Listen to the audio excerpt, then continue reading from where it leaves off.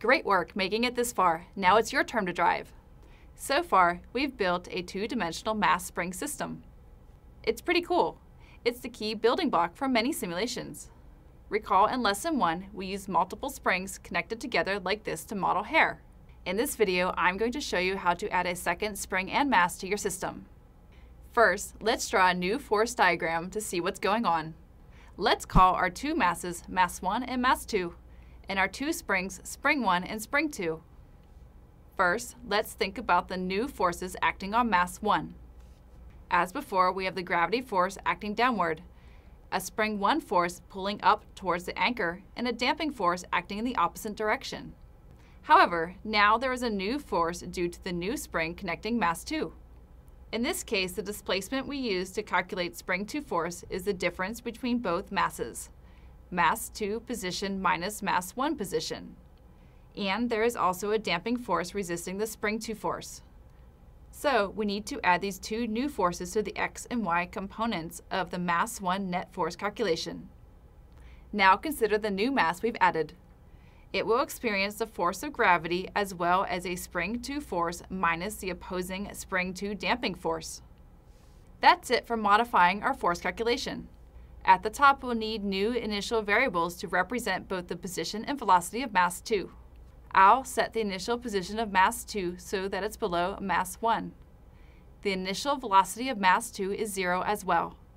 To add a new mass 2, we have to double up all of our equations used for mass 1. However, there are two key differences.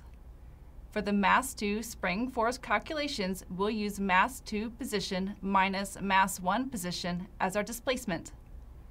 And for the mass 2 net force calculations, we have mass 2 spring force minus mass 2 damping force. Finally, we just need to draw the new circle and line for this mass and spring.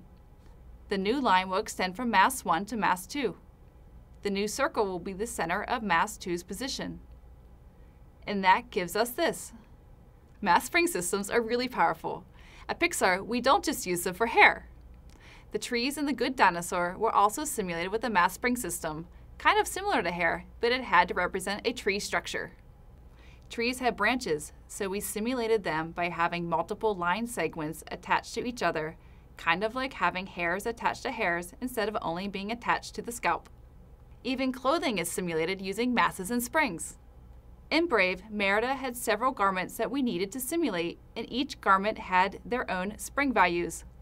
These values were chosen to mimic different kinds of cloth, such as wool, cotton, and satin. As you can see, mass spring systems are super useful for modeling and simulating all kinds of different things.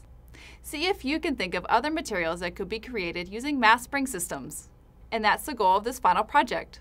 Your job is to modify this program to make whatever you can dream up.